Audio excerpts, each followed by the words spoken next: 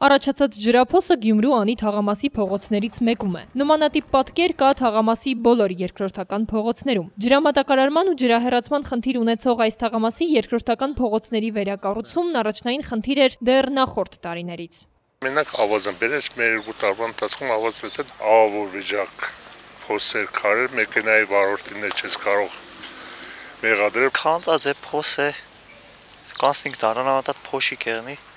Սիմ լավ չէր, սարքային լավ կերներ։ Թաղամասի բնակիչների խոսքով վերջին տարիներին այս փողոցներում վերանորոգման որևէ աշխատանք չի իրականացել։ Երթևեկության ակտիվությունը նպաստում է այս փողոցների մշտական քայքայմանը, իսկ անձրևային եղանակներին դրանք դառնում են անանցանելի։ Դե անձրև կուկակամիջոց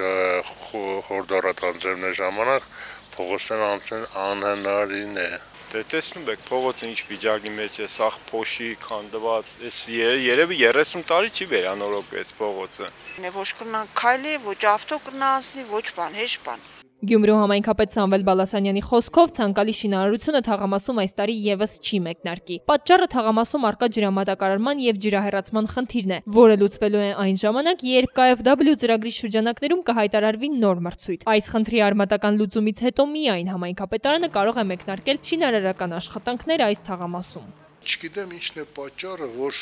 արդեն երրորդ տարին է, նո ավելի ճիշտ երկրորդ տարին է, որ մենք նամակներ ենք գնում, գրում եւ մենք